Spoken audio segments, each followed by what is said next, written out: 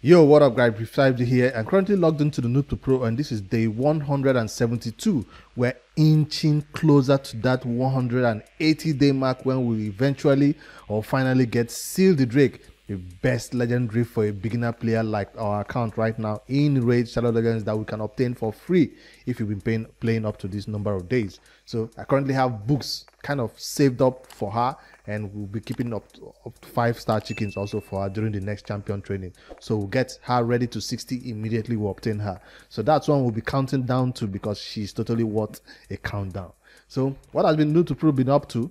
Well, because of the fusion that is currently going on, the Vermilord fusion, we are on Saturday right now and it's gonna coincide with oh, I mean Friday night and we are currently farming um, dungeon divers and ice and then spider at the same time. Well you might be doing it but the Noob Pro is done with it. Yes I did say yesterday's video that we're gonna be farming it all night and complete it instantly as it opens. So if I head over to the events right here you see dungeon divers is complete well uh, we have some extra points to obtain this shards right here and 13 hours right there to go. So if you've not done it head over and complete and get this rare champion. Riskam a copy of him at least. I'll be doing some spider to get this last ancient shard right there that we can obtain and keep.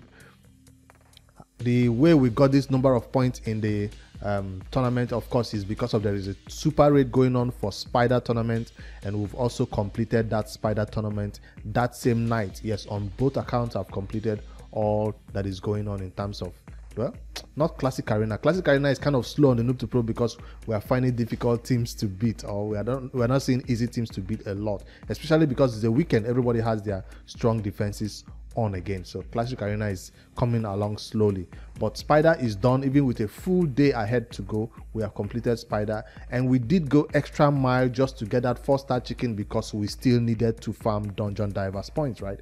That's why I went up to that. Um, four star chicken. Else, normally I do stop at the rare champion, but this time we went extra mile. It's up to the fact that we're even getting third position right now, which is kind of nice, and we'll get one more extra ancient shard, which is cool. Hopefully, nobody tries to beat us in the next one day or so and try to get us knocked out of this ancient shard. Well, I'll still be farming the spider, like I said, to add a little bit more points because I need the other ancient shard from the dungeon divers. That's the events that is currently going on, Classic Arena, and that's what the Noob to, Noob to Pro is up to. Only Classic Arena is what we have to complete.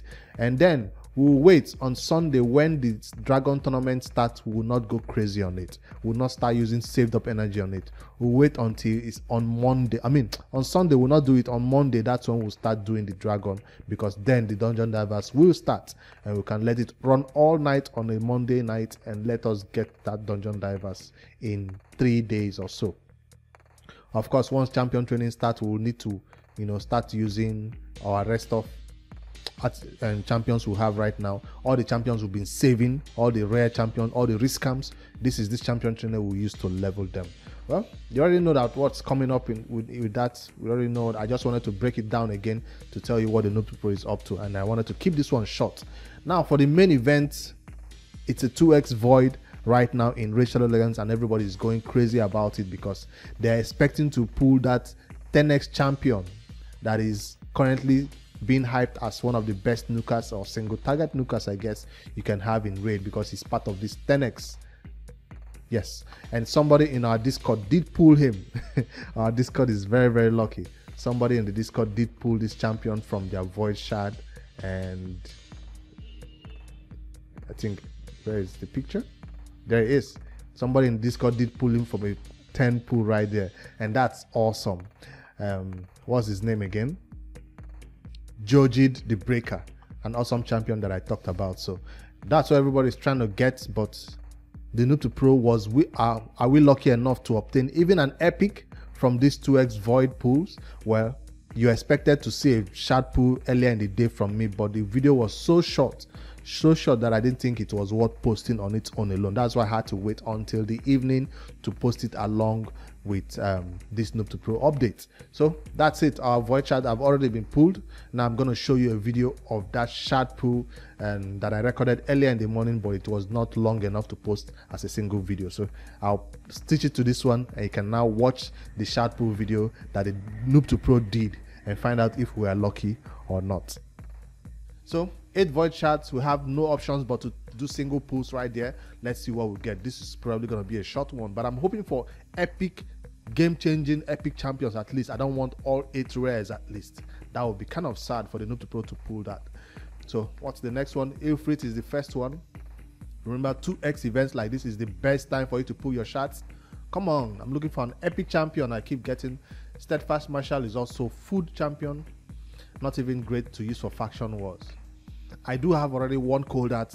Maybe two cold arts would be nice. I don't know. I already have Royal Guard taking the place of the second cold art, so maybe I don't even need that. Now, this is a nice pool. This is a nice pool for a beginner account. For my level of account, I don't think Bellower will even be useful for um, campaign farming or even dungeon content because I have better champions right there. But this is a nice pool right there, at least for faction wars. You can keep those waves locked the entire time so they keep using their A1. If you don't know what I'm talking about, this champion has an AoE on all his abilities or skills. He's one that I've reviewed a long time ago for campaign farming, but I'm yet to re redo that video and show him in other content. Maybe it's something I'll look forward to because I have him at 60 on my main account and with good campaign artifacts. So that's Bellower. If you're pulling him in red, he goes into your campaign and farms it really fast. If you're yet to beat Dragon 20, he keeps those waves in check or any other waves anywhere in the game, which is um with his skills. Also good in a stun set. Don't tell me we're gonna get all rares. That would be a sad one. Pantera, that's trash champion, which is uh, probably food for us. And come on this is this is not looking nice. Is this 2x actually on? Eight shards and no epic champion because the noob to pro is not. We don't even know where we are in terms of our void. Let me quickly check our shard tracker to see how close we are to mercy. Our ancient shard mercy is, is far off, but the last time we did pull a void uh, epic champion, so that's why I think we're not getting anything yet until we begin to get close to that 10 void shard mark or close to the 20. Damn. If you don't know, RSL Helper keeps helps you keep track of your shots that you're pulling, so you don't have to guess and find out or how close you are to mercy. Seducer, good for those early early stages of the faction wars. Places this block um, debuff buff on your allies and increase defense along with it for two turns. So Unfortunately, this is on the fourth on cooldown. That's why it's not viable for clan boss, I guess. But a lot of some people do use him in those early stages of the clan boss because this increased defense on all allies is useful, and this block debuff buff is also useful.